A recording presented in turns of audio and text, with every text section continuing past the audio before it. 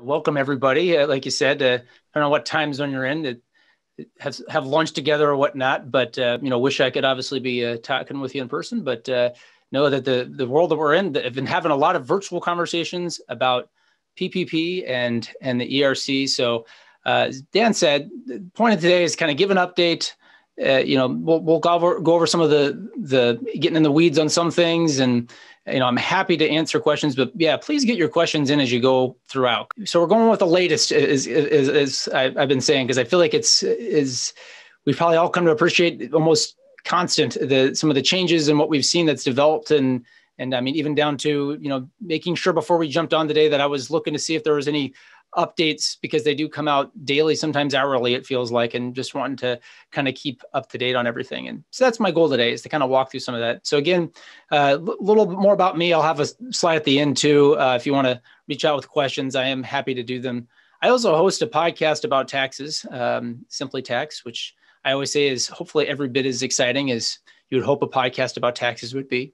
Um, but we do try to make it uh, digestible and approachable. And we've covered such great topics as uh, Paycheck Protection Program and uh, the Employee Retention Credit. And uh, like I said, that's really what we're going to be focusing on today. It's kind of two items on the agenda. And your questions I have last, but again, please throw out, you know, and Dan's going to help me here. Keep an eye on the chat and and uh, and let me know what questions we have that come in. So don't be shy. I think a good place to start is is really maybe with a level set. And there's a lot of acronyms on here, and it's mostly so that it can be digestible. Of looking at the legislation that we've seen in the course of about the last year, like I said, of um, you know response to the the COVID nineteen pandemic, and it, uh, really the first thing that we saw was referred to as Phase One commonly. Uh, was was a bill that was enacted on uh, on March 6th. So yeah, we're, we're about rounding up on our uh, uh, one year anniversary here. But but really, where things got a little bit more, um, I'll say, you know, where the conversation really starts for even purposes of today is when we get to this this phase three here, uh, the CARES Act, which was uh, at the end of March, and that's where we got the Paycheck Protection Program and the current version of the um, or I guess the initial version of the employee retention credit in this context, which was later modified but then since then, uh, we've we've seen a number of other things. We had a, a an expansion of the PPP program after uh, the the first dollars went, and the tranche of dollars that is went very quickly. Um, then we had some some very significant changes at the beginning of June, and, and, I know that's when a lot of people started saying, "Oh man, I'm starting to lose track of all these things, these changes already." Uh, but but then we had an extension that was enacted on July 4th that took us out to August 8th, and the program shut down uh, for a bit there. But then we got to the end of, uh, of, of the year, and with the spending bill, we had a number of other things, and we also had uh, the um, the Appropriations Act attached to it was was a number of changes to both the PPP and the ERC, uh, and so that's that's where we're going to really try to pick up today and and and talk through the conversation. So what was in that that thing more broadly. Uh, so again, the Consolidated Appropriations Act and uh, this is where I, I, promise to start getting getting a little bit more specific into the programs and not as broad brush, but I think it's helpful to set the table here. Um, so, like I said, the, the, changes to the PPP was included, um, or were included, I should say. Um, there are a number of provisions like the employee retention credit, but a number of others as well, and um, a number of funding provisions. But what we're still looking at now, and, and I'm sure you're aware, so I think this is a good place to talk about it, is there is uh, another relief bill that is uh, that paves the path has been paved for it to go through uh, using budget reconciliation, which is a process in the Senate to get things through. So um, there there are some changes actually to the PPP there, as well as to the the employer retention credit further. So the last last I'm kind of hearing again, nobody has the crystal ball as to how it's going to work, but I know they're trying to get it out of the House uh, this week, and then um, they're they're looking to get it through the Senate uh, in the coming weeks uh, with a goal of trying to get it to uh, into place before the expiration of some of the un- unemployment uh, benefits that expire at the beginning of March. So uh, we may see it again. I'll call them tweaks to the Paycheck Protection Program and the Employee Retention Credit uh, from where we are today. But just to kind of let you know that those are on the horizon as well. So let's start with the Paycheck Protection Program, and we'll weave in a little bit of the Employee Retention Credit because, as you'll come to see here, these things are pretty inter, inter, intertwined, I think, um, and you need to be thinking about them both. Um, so, uh, with that, maybe again, just let's just level set, right? I'm, I'm, pretty sure by now we all have the the three letters uh, PPP uh, on our mind and, and we're talking about them and hearing about them a lot, right? Uh, but just as a reminder that it is actually an extension of or an expansion of the current 7A program uh, that the SBA has. And it's again, because of that administered by the SBA and the Treasury. Um, and it, it, it, really, on its simplest basis, you're, you're talking about a forgivable loan that uh, basically, if you spend it for eligible payroll costs and non payroll costs, then you get full forgiveness. Okay fairly straightforward, right? And then we also know that uh, there's a couple of restrictions or limitations potentially on that um, forgiveness, and there's they kind of generally fall into three buckets. So FTE, meaning full-time equivalent reduction. So if you reduce headcount, um, if you reduced wages uh, and how much you're paying people, um, and again we're going broad broad base here, right? Uh, and then the third is if you didn't spend at least 60 of it on payroll costs, uh, then you get limitation. So that's th- those are kind of the factors that again they think that there is a lot of nuance to, and that's where I'm hearing a lot of questions and helping with a lot of people going through the forgiveness process uh, for for PPP one at this point. Um, because again, those loans were all generally most most people got them in April, and and their their covered period, which is that was extended to be 24 weeks. Um, generally ended in October for a lot of folks. So kind of working through those now. I will tell you that uh, if you if you have if you have a loan or you're working with people that have loans and they're not forgiven yet, probably wouldn't be a loan. I, I think two thirds of the loans still have yet to be forgiven or getting into even to the uh, SBA process yet. Um, so although the you know the first round loans are generally done for mo- for a lot of people, uh, although there's some exceptions that we'll talk about. Uh, forgiveness hasn't happened yet for everybody, so that's something to to keep an eye on. Um, and again, there'll be a lot more questions as you get into that forgiveness application. But uh, you can start applying for forgiveness anytime after the, the eight weeks, uh, which is the uh, now, uh, and this is a change that we'll get into. The, the covered period was initially eight weeks. That's the time you have to spend the money. Uh, it was bumped up to 24. Now it can be anything between eight and 24 weeks. Uh, but you have to have at least eight weeks. So you can apply anytime thereafter. A common question I get is, well, when do I have to apply for forgiveness by? And technically, the due date is the, the maturity of the loan. So as long as you apply for forgiveness by the time that that loan matures, you're you're in the clear. Now, from a practical perspective, though, you're going to have to start making payments 10 months after the end of your covered period. So if you have a 24 week covered period, then you know you go 10 months beyond that. That's when re- the repayment period begins, and you have to start making the payments. Uh, if you do subsequently get forgiven, you can, and you had to make payments in the interim, you, you can get those payments returned to you. Um, so I, I, think for many practical perspectives of not having to, you know, deal with the cash flow and all that and the back and forth, it's it's generally what I'm seeing is most people planning to get that forgiveness application in uh, within the, the 10 month uh, window there um, after the end of the covered period so that they don't have to trip the, um, you know, the need to start making the payments. And uh, again, just as a reminder, I'm kind of laying the groundwork a little bit, right? I think most people are, are comfortable with the fact that it's obviously with the bank and you're going to be going through the forgiveness process. And what I generally say is uh, because every bank has to do a good faith review before it goes to the SBA, and then they sign off on it, remit the funds back to the bank, and and uh, the loan's forgiven. But um, because the good faith review is a bank by bank approach, there's there are some nuances and differences between the banks and how that's handled. And so I, I always generally say, you know, start with make, making sure that you're able to get in and, and signed up and um, and do the forgiveness application. And then you know there's going to be, some differences in how the portal looks because every bank um, set it up for themselves um, and for their customers. Um, so and to interface with the SBA. So so that's something to keep in mind uh, as well. I will say that um, there, I, I, know a number of, of uh, institutions are really trying to direct their their attention towards the PPP round two, uh, which we're going to dig into here in just a minute. Um, and so, as a result, many are uh, maybe hitting the pause button on accepting forgiveness applications. So that might be another reason why applications aren't uh, going in right now. So just keep that in mind that maybe there's a little bit of a pause there in terms of the forgiveness piece and getting that done. So now we've laid the, the, the groundwork on the PPP and, and even what led to the change and all the legislation that got here. Let's talk about what changed because there's some pretty big things, starting with our first item here, which is something, and I've kind of put them into buckets here of, uh, you know, what changed for everybody, what changed for just PPP one, what changed for PPP two, and, and we'll go from there. But what changed for everybody and this is retroactive back to the beginning of the enactment of the of the CARES Act, so March 27th of last year. Uh, PPP loans are now uh, the, the, expenses are related to them. Uh, we, we always knew that the income was excluded and it wasn't going to be taxable income, but they were silent on the deductions, and that became an issue with the IRS that basically ultimately said, well, um, because it's not addressed, it's essentially um, attributable to tax exempt income.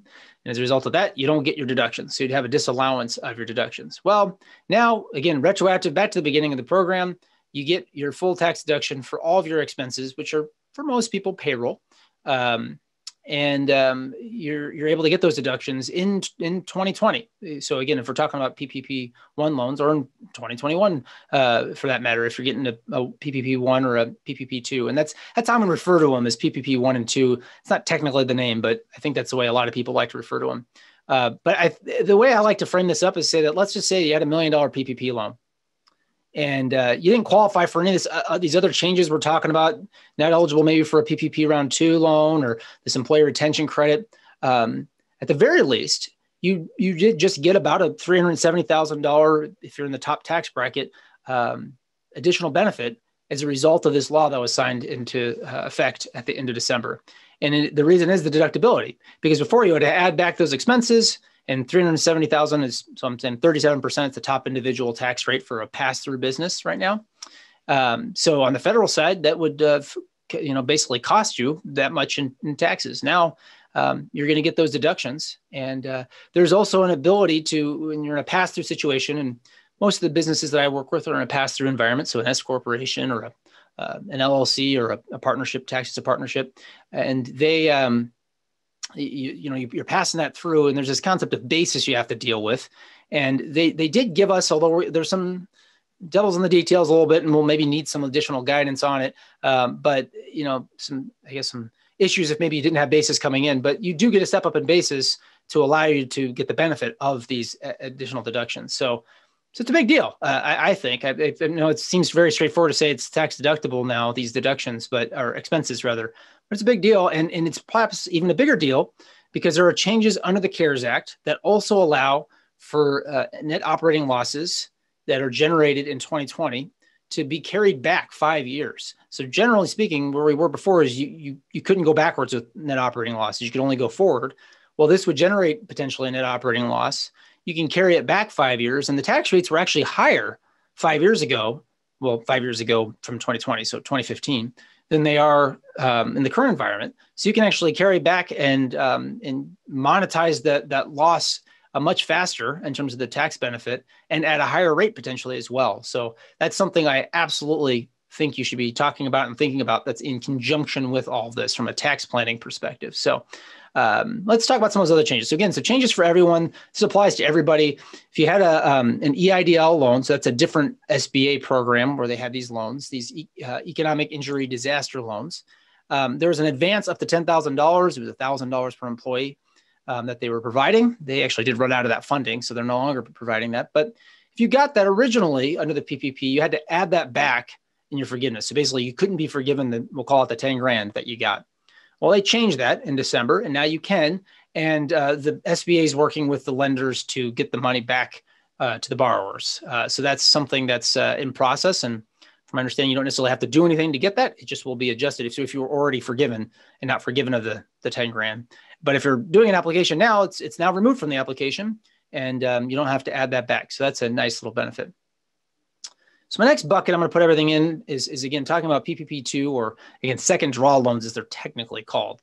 And um, and actually Dan and I were, we were, chatting a little bit here before we kind of got on the line, and he's asking, "Hey, uh, Damien, you know what's the um, you know what are you seeing? Are you seeing the interest that we did for round one?" And I kind of mentioned that there in passing that you know we had a um, you know the first two weeks there the initial appropriation was was burned through um, and so they did additional funding obviously to expand the program um, well, we're not seeing nearly the, um, the, I'll say the demand for it, or the, and the loans aren't getting drawn down nearly as quickly as they did in round one.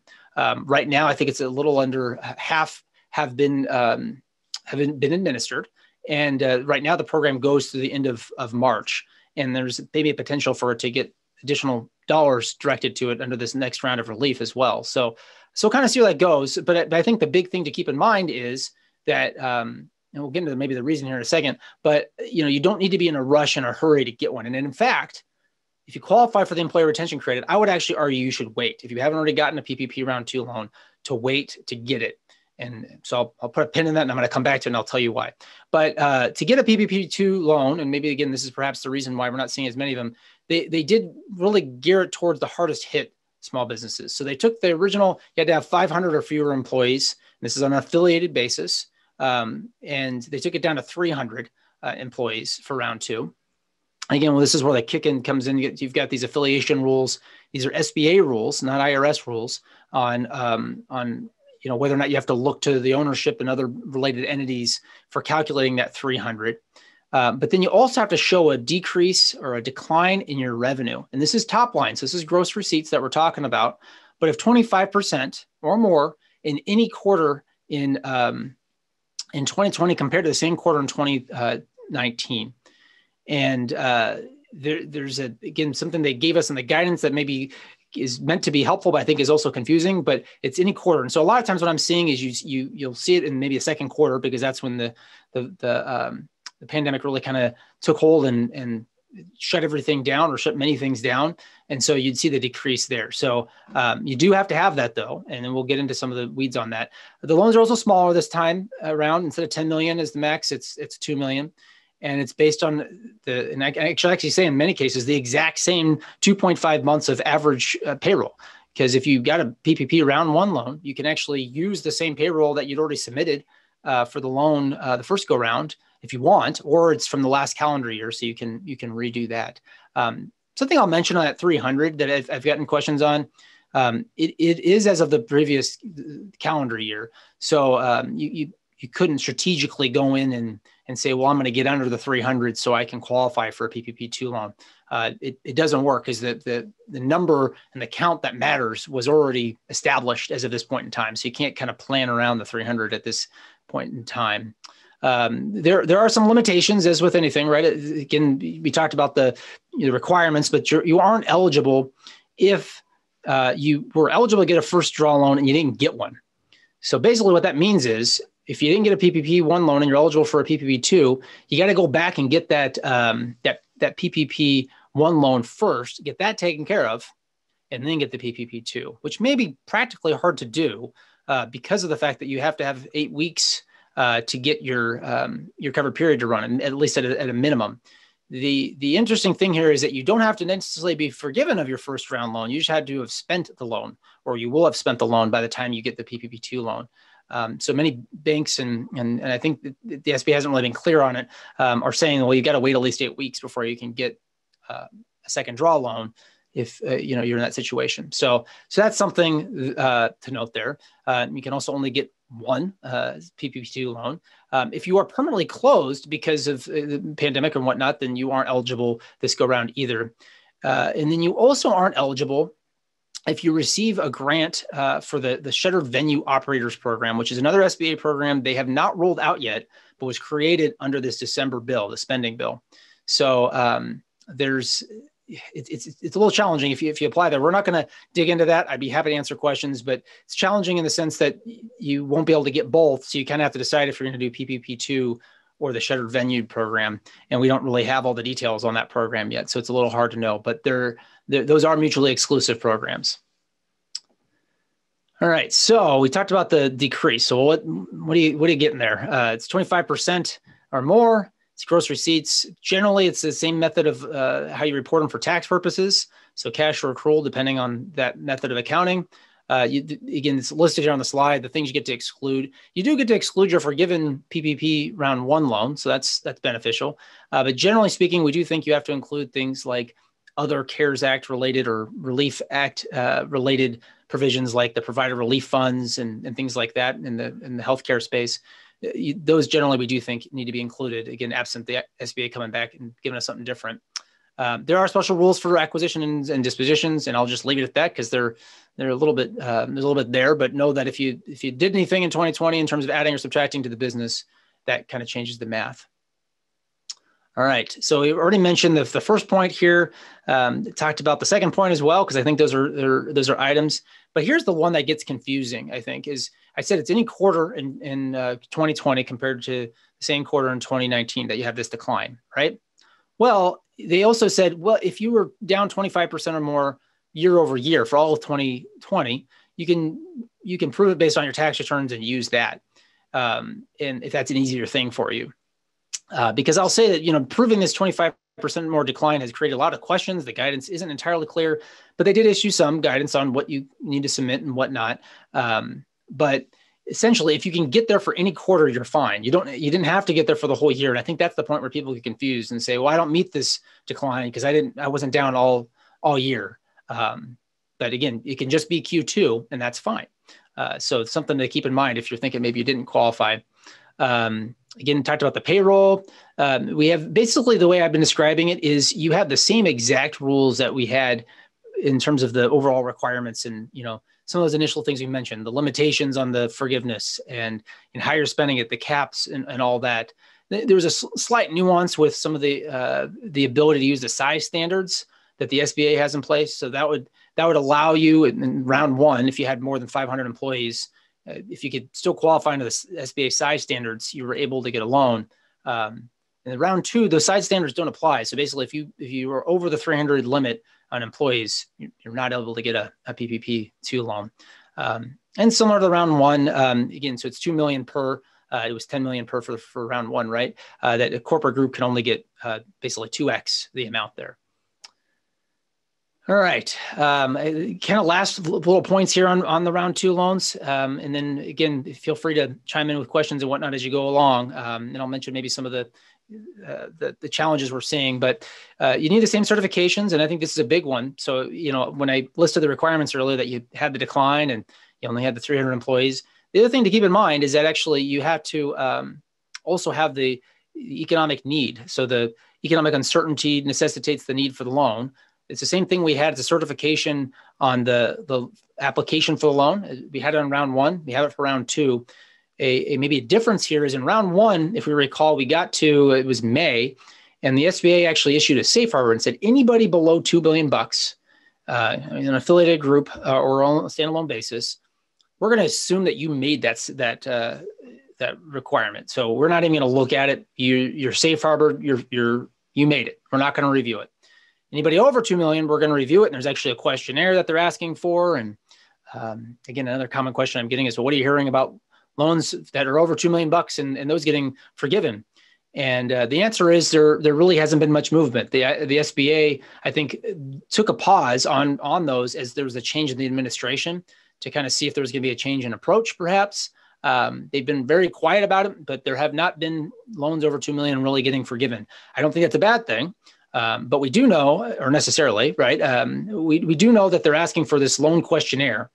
And so what I've been saying for anybody that's that's looking at a PPP2 loan of any amount is to at least look at that questionnaire because that's the, what the SBA has communicated to us to say that, well, these are the sorts of things we think you would need to consider if you're, um, you know, you had this this economic need for the loan. You had the, you know, this necessity for the loan because of the the economic risk. And so I would start there and peruse that before getting the, the PPP2 loan if you're concerned about meeting the requirement. Because in many cases, I think, you know, like I said, the example that common times you're getting it, you're qualifying on the 25% or more decline based off of Q2 2020. Well, maybe you had a, a rock solid Q4, you know, and, and hopefully you did. Um, and then that, that maybe begs the question about this necessity uh, because you're, you're making the certification as the day you get the loan. So you know, you could, uh, there, there, certainly are factors to point to and, you know, variance and some of the challenges we've had, but um, you, you, need to, you need to kind of think through that. Um, what I'll mention again on the on the forgiveness, so maybe some some good news I'll say is uh, of the loans that have been forgiven, uh, of roughly a third of the round one loans have been forgiven. I, I, I'm I'm personally not aware of anyone over 2 million that's been forgiven. I've heard of one or two nationally uh, that have been forgiven, um, but um, these were very, very early on. And there hasn't really been much movement there. But of the loans that have been forgiven, um, about it's it's, in, it's 99 in some per, points percentage uh, of them are being fully forgiven. So um, so that's I think that's very, very good news for those that are maybe nervous about the forgiveness process. I would say, you know, it's a lot of the banks maybe are not able to get in and, and, and do them because they're diverting resources to uh, the forgiveness application. That is, they're diverting resources to PPP round two and helping with that. And um, so maybe you can't get the application in. I, I, wouldn't get nervous about it, but I do think it's something. My my advice has been get the ducks in a row. You know, get through whatever year end close you have to do and, and all that. You know, deal with the tax returns and and whatnot. But if but getting everything in order so you can do the forgiveness is going to be very very huge. Um, but before you do, if you haven't submit your forgiveness application, listen to what I have to say here a bit about the employee retention credit because it matters. And I wouldn't necessarily, I wouldn't submit that forgiveness application for a round one loan until I considered the employee retention credit. One last note um, on the PPP2 uh, second draw loans here. Um, there, has been, I think, a lot of, uh, I've, I've, heard of voices frustration, but the SBA did uh, turn back on some of the, the the protections that they put in place when they're handing out loans that perhaps they had turned off in the round one loans. So everybody's experience was being able to uh, a try to beat the clock and get the loan as quickly as possible. So you know, rushing to get it as quickly as, as they could, and b that they got it very very quickly. Well, neither are the case uh, this this go round. A, I already mentioned the money's not going as quickly, so they're not expecting the money's going to run out. So I don't think there's a rush to get it. And two, I think it takes some patience because uh, the SBA is there's a number of codes they have. I think that, that, on the first initial pass, it's like 40 or so codes I think that can automatically kick somebody out, and that's before the SBA even reviews it. And then once it gets in the SBA system, I think there's another 60 codes that they are saying you know that's been flagged for something. Again, not necessarily a, necessarily a bad thing, um, but that there's something that needs to get resolved. So I think patience is the word I would use to describe um, PPP2 round uh, PP2 loans at this point in time. All right. So I'm going to shift gears here and go to the some of the other changes before we get to this employee retention credit. Um, so I mentioned again the changes for all, right? The deductibility issue that's big for me. Second bucket, draw two loans, that's big too, right? Um, but again, knowing about some of these things, if I mentioned you can get a PPP round one loan again, they reopen the window, so you can you can do that and you can you can participate in that now. Um, it, but it, it does close at the end of March. And um, I think what I'll do is again, I, we'll, we have the slides. We'll provide them, so I'm not going to go. Uh, you know, I'll leave some of these. I'm not going to get into the the weeds on them um, because they, they, find them to be a little bit. You know, if they apply to you, they apply to you. If they don't, they don't. Um, but uh, something to keep in mind, and this is actually a, a, change, and I should mention this too for the PPP too. Um, we we saw a change for farmers and ranchers with the December bill. Um, basically, it's more favorable to borrowers and being able to get a larger loan. And they announced the, the Biden administration announced on Monday that they were going to make similar changes for uh, independent contractors and sole practitioners and uh, or proprietors rather uh, file Schedule C. And we're expecting, we don't know the details yet, but we're expecting it to be similar to those, those three sub bullet points above there for the um, ranchers and farmers. Um, we're expecting to see something similar there where you're, you're using gross income instead of net. So that can be a very good thing in terms of the amount of your loan that you can get. Don't have the details yet, um, but that's that's going to be forthcoming here. Uh, something else I should mention on the PPP2 that I would be remiss if I didn't, and actually goes into effect today. They're putting a, a two-week hold on the PPP2 loans uh, to say that the, uh, they're only allowing those with 20 or fewer employees to apply for the next two weeks. Uh, and so that you know again that's just rolling out today. And so that that also might further the reason why if, if you haven't gotten one or if you're talking to somebody that would be getting one they wouldn't be able to get it now because uh, if they're over that 20 number they're really trying to get the small um, the small uh, businesses served as, as part of the, the program right now. So that's that's another change that we're keeping an eye on changes that just apply to ppp one loans so you can go back and get supplemental funding if you didn't get all of it the first round um, the rules were kind of evolving. They were building the plane as it was in the air, and so maybe the, you, you didn't get as much loan as you could have. Well, you can go back and get a supplemental as part of this round one. You can also go back and get, do a do-over, which is basically maybe you you got your loan and you were worried about that that economic necessity issue uh, that we talked about, and you gave the money back. Well, you can go back and do a do-over and get that now. Uh, you can also get it if you're a 501c6 organization, certain organizations, and certainly housing co-ops and newspapers and broadcasters and radio stations are also eligible. So you can go back in or can go and get one now. But again, have to get around one before you can get around two.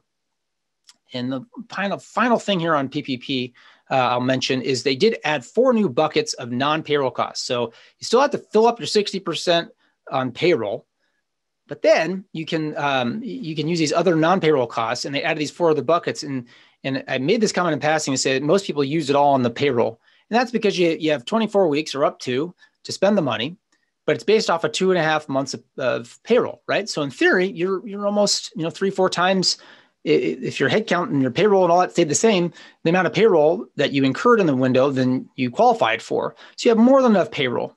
Um, well, there's this employee retention credit that um, most people passed over the first go round because it was mutually exclusive. It used to be that if you had a forgiven PPP loan, you couldn't take advantage of the employee retention credit. Well, that's changed with this December bill.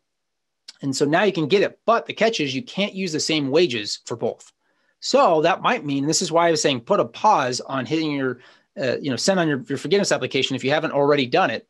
And the reason is that maybe you want to fill up with some of these other non-payroll costs and not use all your payroll so you can save it for the employer retention credit. Um, so that's the um, that's the big big takeaway there. Uh, but these four buckets are pretty broad and, and they cover a number of things. Um, you know the, the, the names are sort of explanatory, but again, I can dig into them um, more if there's questions on them. So maybe I'll take a quick pause as we we shift gears to the employer retention credit, just to see if there were any questions um, or or anything that comes to mind. So Damien, there wasn't really an additional one in the chat, but uh, I had a couple of things that sure. asked me.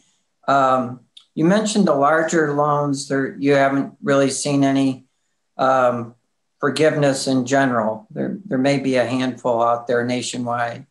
Um, but, uh, you know, I think a lot of them are coming up to the 90 day or exceeding the response that the guideline is for the SBA to respond to those forgiveness requests. Yeah. Um, uh, is there any average number of days past 90 days or any way to kind of speed up the SBA or, you know, it's, it's just kind of a wait, wait and hear? Yeah, it's kind of a wait, wait and see, unfortunately. Um, you know, they, they, they get, like you said, they gave the 90 day window. Um, there's not really necessarily a penalty for them for not, and I'm, and I'm aware of situations where they've already kind of exceeded that. Um, I don't know that there really is an average. I mean, I, I know that the questionnaire was coming out back in October. And so I know basically, I mean, if you were getting the questionnaire, that's after you've you've given it to the bank, right? And you knew this well, Dan, for the good good faith review. Then from there it goes to the SBA. At that, that's when it triggers this questionnaire. And I was getting them back in October, um, and so we're we're uh, kind of at that 90 days. Um, so yeah, we're at a wait and see. We're hearing that they're they're trying to speed up the process and and get more done. Um, but um, yeah, it's a great question. Unfortunately, I don't have a great answer for. Uh, nothing in the December bill changed anything about that, um, and we're still waiting on uh, you know where that lands. I guess ultimately. Yeah, I guess adding a whole new program that when they're not done with the first one probably didn't uh, help. Ex- I don't think that helped things, right? Yeah, yeah. Um, let's see. We do have a couple. Um, one, if you do not apply for PPP one by three thirty one, does that mean the opportunity um, is unable to apply for any type of PPP loan? Unless they reopen the program, yes. So once you get past March March 31, that that's when the, when the program will close under the current law. So so I would say that that should be the target. But there there is word and maybe possibility that they would extend it out further. Like I said, they're re you know they're going to be looking at appropriating additional funds to the program under this 1.9 trillion dollar bill that's going through right now. Um, so I think there's ex- some thought that they would extend it beyond that. Mm-hmm. Okay, and then we have uh, if entities have access to liquidity through other facilities, is PPP still an option, or should PPP be only after exhausting the availabilities first? and assuming those facilities are not detrimental to the organization to access? That's a really great question. Yeah. Um, so the, the challenge with this necessity requirement is they really did not define it, um, and and this is kind of on the legal side uh, more than the accounting and the and the and all that side of things.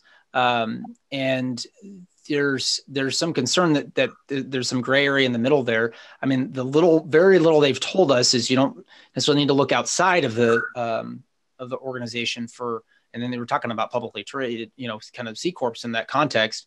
Um, that you don't need to look outside of the organization. The question about facilities is a good one, but I think in many cases, and there's been a number of I, I know um, business organizations that have have uh, in their their groups that have put out letters basically saying, you know, this is we feel that you know, for example, if you were to draw down on the loan, the facility or the the facility, the credit facility, that that would be detrimental. And so I think that that's what I'm more commonly seeing is that it would be considered detrimental to, you know, for example, if you know you have a bonding requirement, that that would be detrimental there. Um, so I can't tell you with with certainty that the SBA won't interpret that because we haven't seen it it um, finalized. But I think there's there's a number of people that do feel that uh, that you know there's definitely a case to be made for why you know drawing into the facility wasn't something that would be required or, or necessary. Um, but it's it, it sort of remains to be seen. But I would say for those that are under the two million dollar mark for the PPP one loans, and again there is no mark for the PPP two loans, um, that um, it, it, I want to say it's not necessarily a moot point, but it's a point that you don't necessarily have to worry about because of the fact that the SBA has already said they're not going to assess the um, that necessity requirement on those um, those organizations and those borrowers. Um, okay, I think we hit all the PPP questions. Um, there was one uh, ERC related question that I'll throw out there, but you um, may be covering that. So yeah. Uh, is there an income reduction test for the ERC? So Great question. Yeah, it's a good good segue here. Tease it up. So let's yeah, let's get into this ERC because uh, again, I think the biggest notion that we have to kind of erase from our minds is that you you can't take advantage of this and the PPP um, because you now can. Um, and there is actually a requirement um, for, to have a reduction, but not necessarily. Maybe there's a there's a there's so there's an either or way to get there. So uh, let's talk a little bit about what it is, and then I'll and I'll I'll get there for you, uh, Maggie. So the um, so the, it's a refundable payroll credit in 2020, and, and, this is really how you have to think of it. It's 2020, and we're going to talk about that now, and then we're going to get to 2021 because they're, they're different rules. So in 2020, it's a refundable payroll credit of up to 50% of qualified wages. So, uh, uh and those are capped at $10,000. So it's basically a $5,000 per employee credit if you can meet the requirements and qualify and have eligible wages um, that you get. And, it, and it's, it is, like I said, refundable. So this is available to all organizations, big or small, for profit, not for profit. Um, it's it's perhaps a little harder for larger uh, employers to get there, but um, and we'll talk about why. But but generally, anybody and everybody that has payroll can take advantage of this uh, because it's it's it's refundable against the payroll. Um, and, and so some of these changes that we're going to talk about, there's some retroactive changes here, like the fact that you you know it's no longer mutually exclusive with the PPP. Um, so they made it retroactive. So you actually go back, and your mechanism for doing this is on the Form 941, which is the payroll tax return. And you can go back and file an amended return for 2020, which the IRS. So I mentioned earlier that we were looking at SBA rules. Now we're looking at IRS rules uh, on this. So the um, the IRS has not told us yet how to go back and amend the the prior year 2020 situation, um, but we're kind of keeping an eye out for that. Um, so, so the wages and, and also including wages, and this is a big one to mention, is qualified health plan expenses also count, and they're going to come in when for some of the larger employers in particular.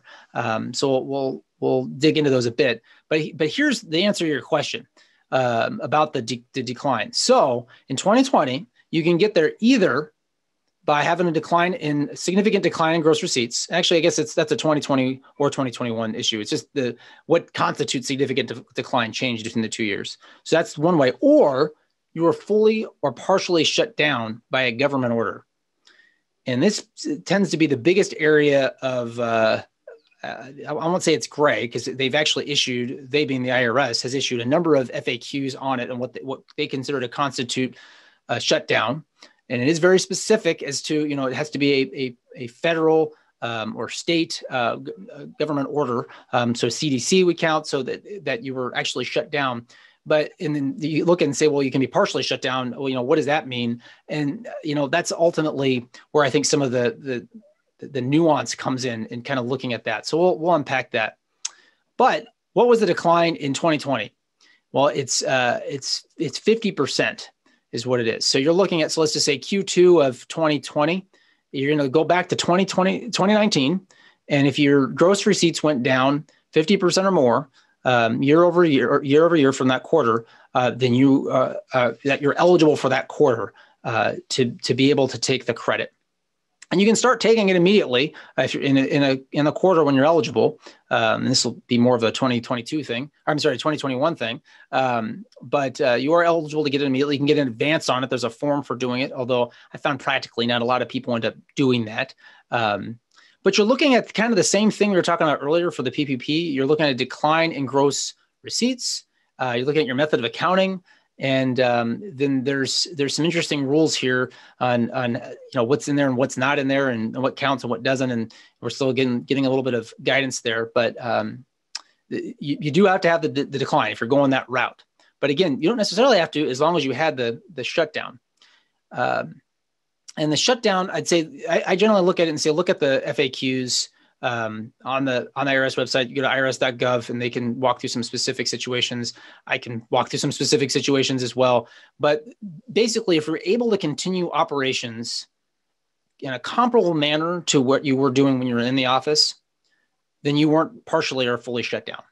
Um, and this would apply. So, you know, if you were considered essential, and you were still able to, to operate um, in, in the business, even if you chose not to, but you could do your comparable work from home, that doesn't qualify. And the example I would give is, is like myself. Um, you know, we've, we've moved to pretty much a, a remote uh, environment here. Um, I, I can still do my work efficiently. Uh, maybe you could say there's an argument about efficiency and, and efficiency actually doesn't come into play. So I'll, I'll even correct myself on that because many people would say, well, you know, I'm not as effective, so that should count, right? no it's it, but it's if it's comparable to how i can I, operate and function then that's not necessarily a partial shutdown but you can have a division maybe and it has to be a, um, um, basically a, a, significant portion of your business that was sh- uh, shut down uh, so maybe that means that you know for restaurants that's a good example of saying well indoor dining was shut down well, that's a significant portion of the business. Doesn't mean that the revenue was significantly down. It just means that a significant portion was was shut down. You could still do outdoor dining, but you couldn't do indoor. Well, that would that would count, and that can get you there. And that's where I think a lot of times you're seeing it, you know, in restaurants, and those are good good uh, examples of people that will qualify. Um, but it's very important to to keep an eye on this. And I think there's some people that maybe are looking to be aggressive with it. I would I would uh, urge some caution on being aggressive and pushing it um, because you do um, it, you're, you're basically dealing with payroll taxes here and the irs doesn't take too kindly to those that don't um, deposit the, the payroll taxes when they're supposed to so i would uh, uh, that's a kind of a generalization but it's a there's there's penalties that, that kick in there that you don't really want to mess with so um, you know i think talking it through and, and really identifying your fact pattern uh, is is is the key there. Uh, but again, if you're not fully partially shut down and you're able to get there from the gross receipts as defined here on the slide, well, then you got to, um, you know, a little bit of more a straighter path there uh, to get there. So then here's the next piece. So that you had to be an eligible em- employer um, to be able to, to take this credit. Next, you have to have qualifying wages. And that's what you're taking the credit on. And whether or not you had qualifying wages depends on in 2020, whether or not you had 100 uh, this is the line of sand uh, uh, employees or not, and it's it's full time employees. There's some debate as to whether, because uh, they looked at some existing legislation and pulled it a definition kind of not clearly. Um, there's some some debate as to whether that's uh, you have to put in uh, full time equivalents in there. Um, the the IRS FAQs actually say that you only have to put in full time, and 40 is considered full time for this purpose. Um, so you know you're i'm sorry 30 because it's aca rules it's considered full time so you, are looking at you're looking at that, um, there's some debate again as to whether or not those partial, um, you know, part time need to be uh, included. So, um, and uh, Otis, you're dropping off. Thanks for stopping by. Um, got the, I finally got the chat pulled up. I, sometimes when you share the screen, it gets it takes a bit to get there. So, uh, but anyway, so you get the there's some debate about that. But if you're under the 100, basically means any employee counts.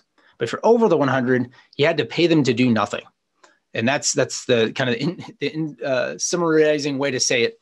Uh, but it's basically paying him to do nothing. You you you know. So a good example I have is um, know somebody that has a the operating number of gyms across the country, and um, in each location they have a you know at least a, a manager and that you know, the kind of the team there. Well, they're keeping them on board, um, doing nothing in, until they're able to reopen. In some locations they have, in others they haven't, but they want to be able to you know turn on a dime to be able to reopen those locations the second they're able, able to. So they're keeping the manager, you know, on on payroll, um, even though they're over the employee count. Those wages would be eligible for this uh, this consider this this credit here. So.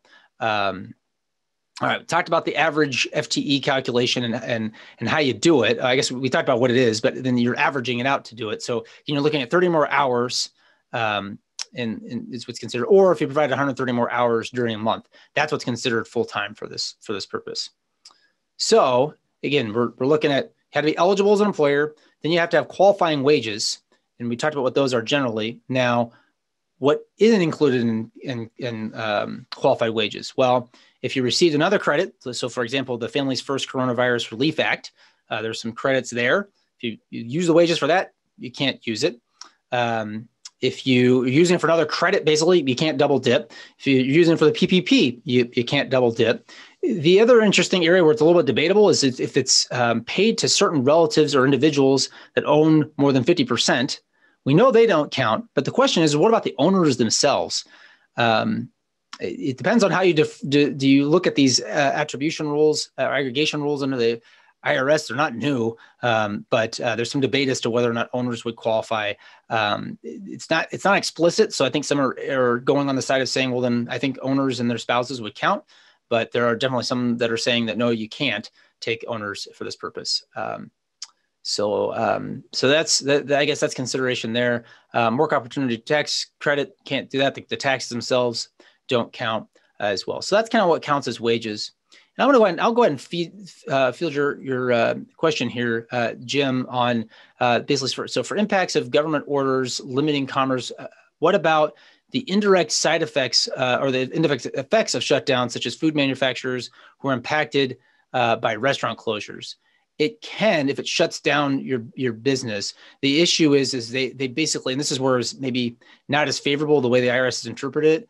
You you can't say, and even for the purpose of this wages, to say that well, you know, I could do, I'll use my example, you know, I could turn out 100 tax returns in a day before. I, I can't. That's that's that would be a crazy day. Uh, 100 tax returns before, but now I can only do 50. So I'm 50% less efficient. So therefore, I, um, you know, I, that my wages should count. You can't do that. Uh, and you also, you know, if you were still able to operate, you, you can't do that. But there are there are if you're if you're directly re, um, impacted because of a closure um, that can get you there. Um, in your example, we'd have to probably look at exact. It would probably be specific to, you know, exactly which resident being able to directly draw that correlation. So I don't think it's a it's a it's a it's a clear path, but I think it's a potential path to get there under the closure. So I would I would say definitely um, take a look at that. Um, I'd be happy to chat more about that with you as well. All right. So uh, we talked about what doesn't count. Um, let's flip over and talk about what happened with this bill at the end of the year, aside from like being retroactive. What they also did is they they expanded it and extended it into 2021. So Q1, Q2 at this point, if the, the bill we were talking about, that $1.9 trillion bill gets through uh, and get that gets enacted, it would actually take it out to the end of 2021. We'd have this credit. Um, they also said, well, group health expenses uh, would be considered qualified wages. And that's significant, I think, because in many cases, what I'm hearing, especially with manufacturers that I work with uh, that are over the, the limit in terms of employees, they maybe they furloughed, but they continue to pay health ex- expenses, and so those can potentially count. Um, you know, in that in that window of time, so there's an, an opportunity for you, uh, even though that maybe the wage you don't have qualified wages, the wages themselves, because again, you, they, you weren't paying them not to work because uh, you weren't paying them. You still were in a way because you're paying their health insurance. So that, that kind of counts uh, from that perspective. So um, that's something to keep, keep an eye on. So what else did they do for 2021?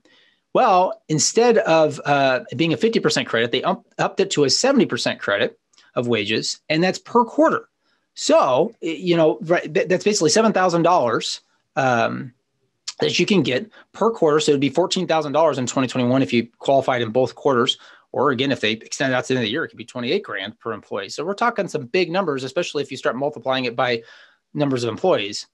The other thing that they did was they took that 100 limit and they put it up to 500. So that means a lot more employers will be eligible um, for it. And um, and I think I, they skipped over the point um, in there, or maybe it's not in the slides here. But the, oh, that's the second point there. Um, they took the 50% decline down to a 20% decline.